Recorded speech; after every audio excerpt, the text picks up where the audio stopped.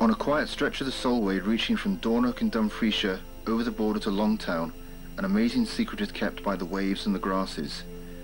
Who could guess just by looking at this quiet rural area how vital a role it played in the First World War?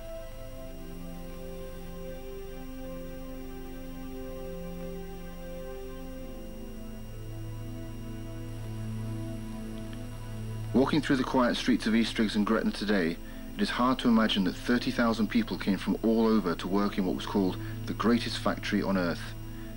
Munitions women and munitions men lived in a settlement of wooden huts, brick hostels and substantial houses which form the basis of housing in Eastriggs and Gretna townships today. What a busy time it must have been. It was here that thousands of women workers, like millions more throughout Britain, toiled willingly for their country and gained votes for women for the first time. The issue which suffragettes had made controversial with extreme actions was now eminently respectable. The case for women's rights could not now be dismissed because of their outrageous behaviour. When Sir Arthur Conan Doyle, creator of Sherlock Holmes, visited the Gretna factory, he was so impressed by the women's efforts that he became convinced that women should have the vote.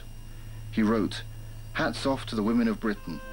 Even all the actions of the militants shall not prevent me in future from being an advocate for their vote.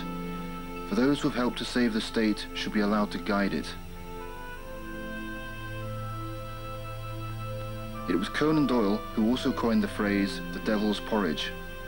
This described exactly the highly volatile nature of the gun cotton and nitroglycerin mixture which the women workers kneaded by hand.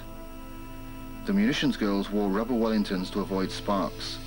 They were not allowed to wear buttons on their tunics because if any foreign body fell into the mixture, then there would almost certainly be an explosion. Mary Ellen Halliday, a worker at the factory and an Eastriggs resident until she died recently, recalled how she got into trouble from the women police for breaking the safety rules. We wore a certain uniform, khaki trimmed with red.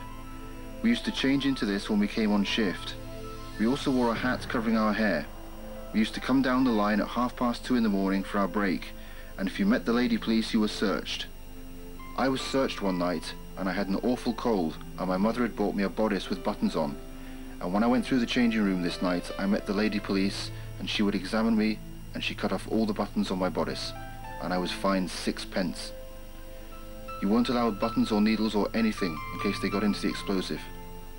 There were some girls who took knitting in and they were fined for having needles. You weren't allowed anything like that.